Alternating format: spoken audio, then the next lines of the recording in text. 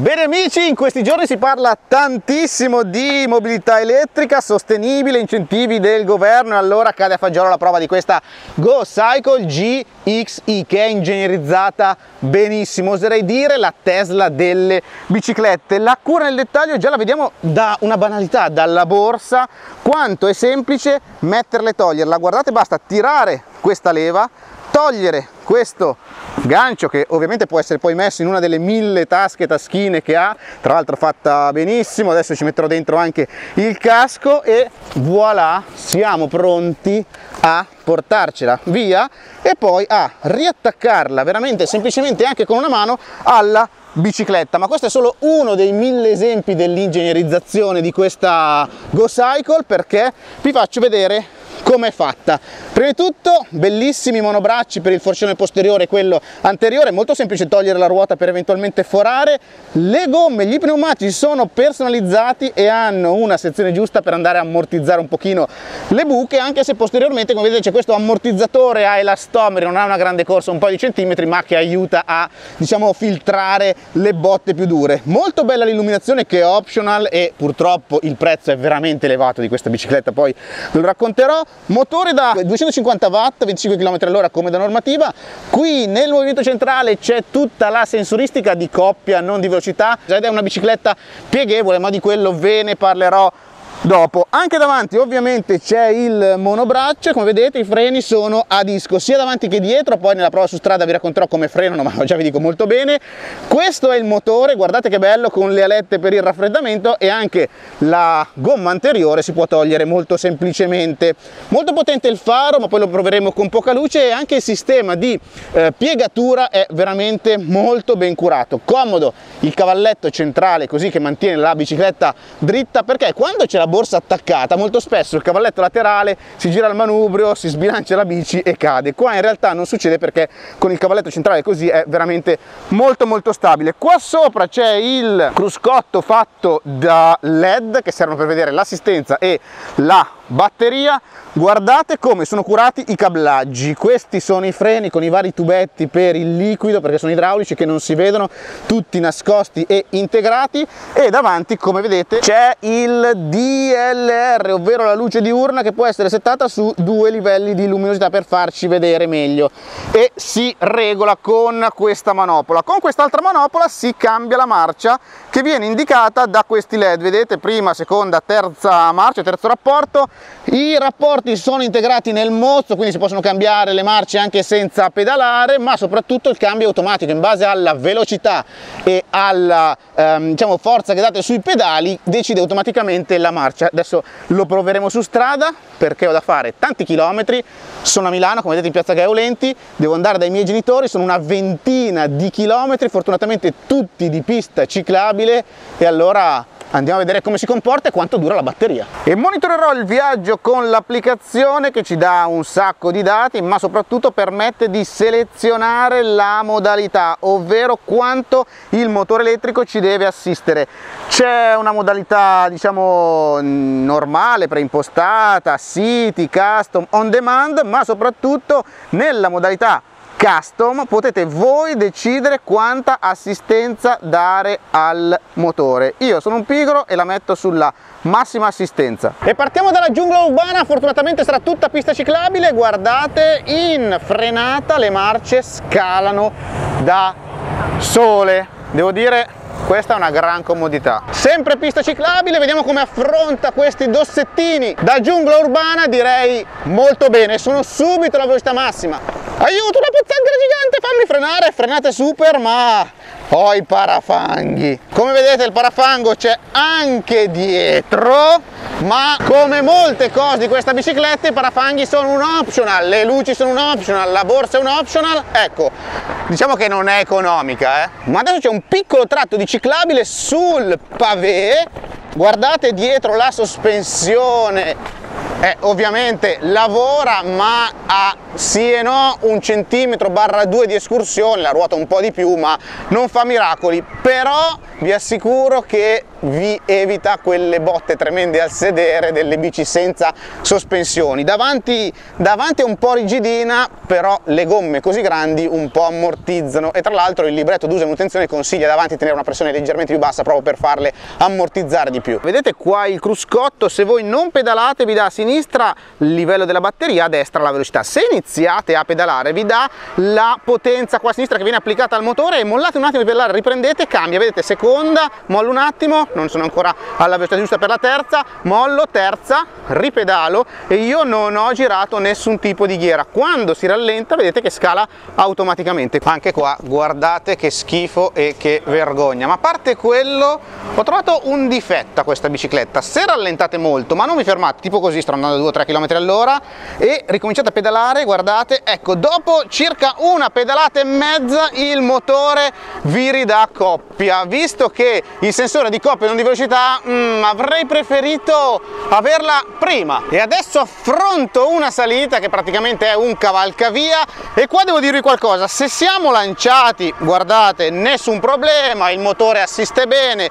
Io sto pedalando ma sto applicando veramente poca coppia. Il problema è se ci fermiamo e dobbiamo ripartire in salita. Sono fermo freno tirato mollo il freno inizio a pedalare e uno due tre. Ah, inizia adesso l'assistenza. Quindi anche in situazione di salita avrei preferito un inizio della pedalata molto più immediato. E voilà eccoci arrivati a destinazione. Sono più di 20 km comodissimo il cavalletto centrale per appoggiare la bicicletta il mio sedere sta abbastanza bene comoda la sella ma adesso vediamo i dati. Eccoli qua. Ho fatto esattamente 22,9 km e ho ancora il 70% di batteria, velocità media 21 km all'ora, calorie bruciate, media della potenza che mi ha dato la bicicletta, quindi se ho fatto 22 km con il 30% a 70 km ci arriva tranquillamente. Devo dire che l'autonomia è buona e non l'ho risparmiata, perché ho fatto un po' città, ripartenze e poi tutto a 20-25 all'ora, tant'è che la media appunto è di 21. Non male l'autonomia, ma adesso viene il bello, cosa? Eh, piegarla e metterla in una 500 eh sì ma non è una 500 normale è una 500 cabrio quindi la challenge è ancora più dura prima di tutto il eh, borsino qua la borsa comodissima da togliere poi ci sono tutte le sicurezze leva che fa abbassare il manubrio cosa intelligente? Guardate qua il pedale volendo si può togliere semplicemente così e c'è questo che è lo sgancetto di sicurezza ma non è che dovete mettervelo in tasca perché c'è il posto anche per il pedale. Voilà eccolo lì rimetto qua il gancetto poi volendo la sella semplicemente svitando questa vite si può togliere e qua schiacciando questo pulsante tirando la leva la bicicletta si riesce a piegare molto velocemente e tranquillamente. Voilà eccoci qui. E l'altra chicca è da questa parte. Questo elastichino che agganciato qua dove c'è il campanello fa stare la bicicletta chiusa senza che si apra quando la spostiamo. Sul cavalletto comodissimo anche per chiuderla e adesso ci starà. Ma direi di sì e anche abbastanza comodamente.